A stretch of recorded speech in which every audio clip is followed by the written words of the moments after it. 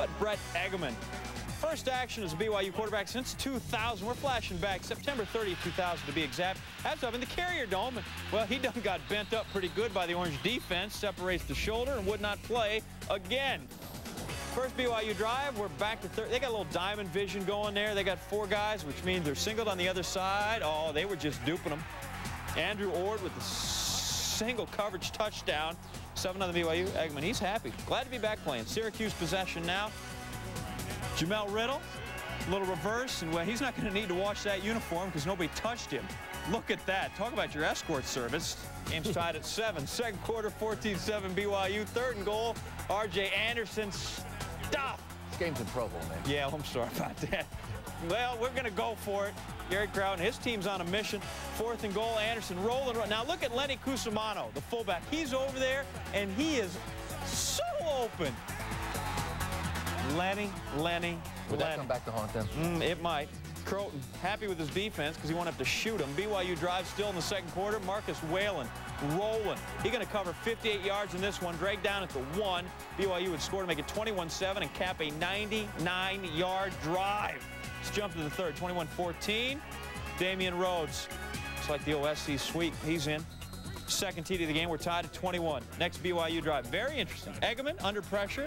Going to get wrapped up and manages to get the pass off, falling down. Catch that one complete to Toby Christensen. Engemann, though, he's going to hurt his hand, so he's going to temporarily leave the game. Enter Lance Pendleton. This is BYU. They don't just hand it off when they got the sub in there. They'll throw it. 10-yard gain. Pendleton, now go back. Engemann's ready to come back in. A couple plays later, Whalen. Little handoff. Three-yard run, and then he gets more. And then he gets more. 234 yards rushing by BYU. Next play, Engemann taking it himself, bootleg, touchdown, nice drive. Mike Tirico's working this game. We had a lot going on in that drive. We had an injured finger.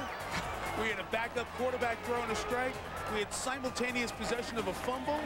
We had a 37-yard run, a quarterback sneak for a touchdown, a missed extra point, and some pickle juice. A lot of bookkeeping to be done there. Engemann successful. Return 35-54, 386 the numbers, 42-21 is your final. This sort of thing will make that plane ride home to Syracuse awfully long. Cougs Illinois finished last season with a 38-35 loss to Wake Forest. The Huskies opener and uh, first quarter. They're trailing 14 to zip. Michael Turner finds a seam and he won't stop till he gets enough. Turner headed to the house, 93-yard kickoff return. All of a sudden it's 14-7. Second quarter, same score. Wake's Fabian Davis grabs the punt and uh, his turn to do that stuff. Goes through the entire Husky defense. He also had 69 yards rushing. This is an 82-yard punt return. It's 21-7. Demon Deacons cruising, right? Fourth quarter, Wake ahead, 35-32. Matt Wisnowski in to seal the deal. But the Huskies blocked the field goal. So the score remains 35-32. Northern Illinois still alive. Four seconds left in the fourth quarter. Wake Forest by three. Steve Azar had a 51-yarder. 45 is nothing but a thing. He ties the score at 35. We're headed to extra fun. Overtime. Wake Forest trailing 42-35. So they score the touchdown. They cut it to 42-41. Kick the field goal. No, they want to go for two on the road. They want to win it. Forget about it.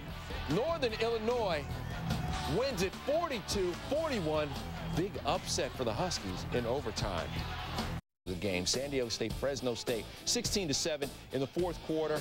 Adam Hall to J.R. Tolver. Tolver, 10 catches, 158 yards at 16-14. Final seconds of the game. Aztecs looking to give Tom Craft his first win. Tommy Karofsky from 31 yards out. Schwack. Who is that that got up like that? Fresno State, the block, and then they seal the deal. Take another look at it. And the big problem here mm -hmm. starts in the beginning. The snap. Poor snap. Can't get it up. Can't get the ball up. Game's gone. But watch the hops here. Yeah, Great job. Pat Hill digging the seam. Fresno escaped. Colorado State. High packed, tension-packed rivalry between these two, and Cecil Sapp had a huge oh. game in the opener against Virginia, running over Buck. He should sell tickets for this ride to the Colorado defense. Second quarter, you know, it was the vaunted Colorado rushing attack that ran roughshod through the Rams last year and over everybody late in the season. Chris Brown put it on the ground. CSU in control, and a few plays later, here's Cecil. I mean, you know what? I thought the defense of Colorado State was fantastic. They put their offense in good position. Cecil Sapp was fantastic, but that defense was tough. Craig Ochs, meanwhile, a little bit of a tough first half there, Mark. Well, they've had a tough time throwing the ball when they can't rush the ball. Last year, if they ran the ball for over 300, they won. If they rushed the ball for less than 80, they lost all three of those games. Oates gets sacked for a big loss there, and Barnett's team was in trouble in the second half. Deep in territory, Chris Brown never got the exchange, and Brown, who's plagued in the preseason by concussions, didn't get a lot of work. Don't know if that affected him, but he had a tough day. Fourth quarter, 13-0. There's Jeremy there Bloom. Is the Olympic skier who wow. fore, foregoes hundreds of thousands of dollars in endorsements to chase his dream and play football for his beloved University of Colorado Buffaloes. Go, and Jeremy! Jeremy Bloom Got his money has worth. logged on, and he is part of the Gone Network. Let him keep his endorsement money, my friend. 75 yards to the house, and the Buffs are back in it. And Bobby Purify then knifing and slamming his way deep into Ram territory at the one, and that would set up Chris Brown, who had the tough day, but Brown getting in there, and the Buffs are all the way back and on top at 14-13, but Bradley Van Pelt. Bradley Van Pelt. Look at the cut, and take that with you. If I was a coach, I would take Bradley Van Pelt as my quarterback any day of the week. I love his toughness. But Ochs trying to save the day for the Buffs. Hits Derek McCoy down the middle, and Colorado is closing in. Buffs still driving now. Ochs avoiding the rush. Desperately heaving. John Donahoe's got it. And the Buffs are getting close. 25 ticks to go. Ochs. Donahoe. No. No. And the Rams hang on to beat Colorado again. 19 to 14 the final. The Buffs have now lost four straight season openers. Barnett hasn't won one yet, a season opener in Boulder. Year ago as the head coach of the Terps, coach of the year, took his team to BCS game. There's Ty getting ready, and the question was, can Carlyle Holiday throw it? Threw it quite well to Arnaz Battle. Third and 12 there. What a great call. I mean, you know, make, let him throw the short pass. Let your receiver make the play. And here is the number one offensive weapon on the night for the Irish. Foot of Nick Setta. Knocks through a 51-yarder there. The Irish up 3-0. They had a defensive force in Shane Walton, who was everywhere Maryland quarterbacks tried to throw. Now, this is an outstanding job with the beat on the ball, looking at it and looking at it and going up, getting your body position between the football and the receiver. Gets another one there. Nice pick, number two on the game. And might as well Lay down. go for the hat trick, and he ended up getting the hat trick. Three picks on the night. Back to the game. Here is Vontez Duff, and oh, you got to be sound in the kicking game. What do you mean they don't have any speed? Look at Vontez. He's got some quick feet, too. He is gone. 76 yards to the house. Willingham, a winner in his debut. 22 to nothing the final. He's the first Notre Dame coach since Terry Brennan in 1954 to debut with a shutout. Brennan did it 21 nothing. Walk the walk, young man. Chief Osceola throws down the spear, and then Greg Jones starts throwing down Cavalier defenders. 196 yards rushing in the first half of the Seminoles, 16 nothing, just like that. And then Chris Rix goes to work looking for Anquan Boldin. Well, when you get, you know, when you have a guy like Jones who opens everything up with a great running game, it makes it easier on your quarterback. It's a completely different offense. Greg Jones makes this offense complete. Florida State up 30 to nothing. They turned the ball over several times inside the Virginia 30. They could have easily scored 60 Yeah. in this game, 40 to 19 the final. They corrected their mistakes from last week. They didn't give up big plays defensively from the first bunch. Let's just point out Billy McMullen, great game, 101 yards on five receptions, big-time receiver at Virginia. All following that up, Eric Crouch, the 2001 Heisman winner, had that jersey retired. Not the number though. Is 34 up there? Oh no, it, it's it's up there. Jersey retired, Trevi. But you get to keep you get to keep wearing the jersey. Somebody else does. DeJuan Groce picking off the pass. He'd have a couple of picks on the night. But this is where DeJuan made his mark.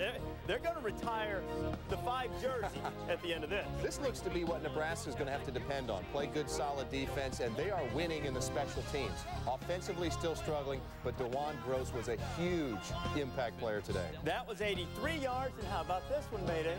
Well, this one, watch, the ball's a little wobbly, but he still catches it straight ahead. Look at the blocking on this. He fouls his blocking straight ahead as a returner. Just take it straight ahead. Now, you're not going to catch me as a punter. Get out of here. Not with my speed. Goodbye.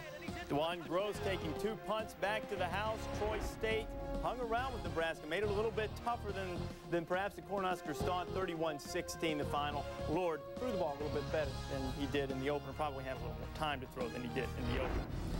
Joey Harrington gone. Jason Fife in for Oregon against Mississippi State, and Harrington or Harrington's successor Fife finding George Wrighster for the touchdown, 14-0 Ducks. And this is a five. He's got a few bullets in his gun. You know, I really liked his poise. You know, I mean, stepping in, and I know it's Mississippi State. It's not somebody who's going to, you know, be in the Pac-10, but I thought he did a lot of great things today.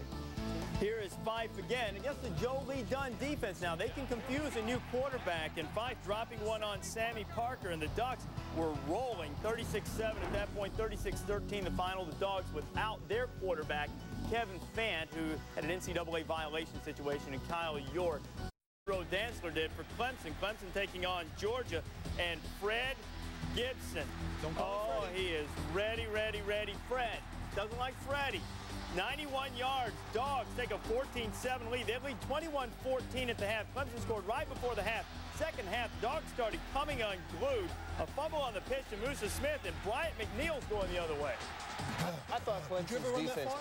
far? Uh, no, I can't run that far. I thought Clemson's defense was fantastic. Played much better than last year. John Lovett, the new defensive coordinator, came over from Auburn. Here's DJ Shockley, who gave the dog offense a spark, finding Terrence Edwards, and we are locked up at 28. Clemson had one last effort. 31-28 after a dog field goal. Chad Jasmin smashing up there for 12 yards. Here's Willie Simmons, who's very poised for Tommy Bowden in this game. Kevin Youngblood, first down, Tigers. Here's Aaron Hunt. Home meets leather. Reaches for a long It's one. gone! Oh. No. Oh. Aaron Hunt just short. Georgia hangs on 31 to 28. You know, between 77 and 87, two teams 5 5 and 1 against each other. Nine decided by a touchdown or less. Four in the last 20 seconds. But Georgia won the game. and They create a problem. Didn't finish, and here is a redshirt freshman, Brad Smith. He's just 18 years old, but playing very well for Mizzou. I mean, about poise in a quarterback, getting to the outside, making the right decisions on the option, and throwing the football today, too. But here, if you've got running backs that can make decisions like this and get in the end zone, it takes a lot of pressure off of a young quarterback. And that was TJ Leon, 14-7 Mizzou. And now in the shotgun, here is Smith again. in Missouri knocks off Illinois 33 to 20, the final in that game. Joe Paterno leading Penn State against UCF, Central Florida. The Knights had a 3-0 lead when Zach Mills, what Zach Mills just gets oh, slobber knocked. Did you, did you just make that up? I just tried to do that. Larry Johnson really good that. scored there. Take another look at this. You can appreciate Okay. this. I, I- I love the hit, but I also like the toughness of Zach Mills. He brings more dimension to this offense, not just a drop back passer, willing to take the shots for his team. Obviously, again, another option play, touchdown Penn State. Paul Jefferson scoring on that one. That one was the pitch. The other one was ruled a pass because Zach pitched it forward. And it's a- UCF made it a tough game, but Penn State able to hang on 27 to 24 Mills with another fine day. On Legion Field, 7-0, tied up and moving. Tyler Watts, Sam Collins, Nice touch. touchdown. It's going to be a blowout, right? Looked like it for a while. Two-point conversion made it 15 nothing. It was 22 nothing, but now Middle Oh. Tennessee back to 22-14. Here's Ahmad Galloway hitting Axel. Speed burst gets him into the house from 33 yards out. Tied back up by 15. Comfortable, or maybe not. Here comes Rashard Lee. Tennessee State's on the run. 29-27, Fran Torbush, not pleased. 32-27, Enrico Hines. Here's another linebacker, redshirt freshman, tied very high on. Freddie Roach. Oh, had the dive there, the jump, hit the triangle, went PS2 on him and scored 39-34. Tyler Watts had a good day throwing the ball. Alabama led the SEC in rushing last year. Didn't run it quite as well. At Georgia Tech, taking on Bobby Johnson of Vanderbilt. A.J. Suggs making his Georgia Tech debut, the Tennessee transfer. And look at A.J. Atlanta area native throwing into Will Glover for the touchdown and Suggs again to Kerry Watkins in the jacket for rolling. I like Georgia Tech at the start of the season. You know why? A.J. Suggs has something to prove. He feels like he got jobbed at Tennessee. Brian leading his team in what most assume would be a walkover. UConn, bona fide, They came to 1A play. now. They came to play. Dan Orlovsky to Sean Feldheisen. Missed the extra point, 6 0 It's now a 9-3 game. Orlovsky to Brandon Young. Do it for Sue Bird. Theon Anderson touchdown 16-3 is now 16-10 when Brian St. Pierre has seen quite enough of this kind of action. Dumped it to Derek Knight. The Eagles on top 17-16. St. Pierre again. Time looking for Grant Adams. St. Pierre showed some, showed some guts. Yeah, he really played well. UConn played so well, but just a breakdown in coverage. 24-16 the final. BC takes care of business. Look at this. North Carolina with Aggies playing the South Carolina Gamecocks, but they ain't chicken. Corey Jenkins tossing the magic beans. James Adkins, 44-yard pitch, catch, kick good, 2010 South Carolina. 2017 now. Dacus Truman, two-yard touchdown, 34-24 Carolina. Hangs on 39-34. Seneca Wallace pitches to Lane Danielson. Cyclones are a, they're a tricky bunch. ISU beating up on Kansas 10-0. They win by 42 later in the first. That's Hiawatha Rutland. Hiawatha had a touchdown. He had a touchdown against Florida State. That's a good team. Mm -hmm. East Carolina du Dukies, 23 straight losses, longest jag in 1A. Quarterback Chris Dapolito in, scores, Duke up 10 nothing. Duke's Brendan Dewan picks off the pass. He's going 28 yards for the TD. Duke up 20 to nothing. Oh, they, they're going to make people forget about Coach K's program. They win at 23-16. Nation's longest losing streak over. Goalpost down. We should also mention Houston and Navy also.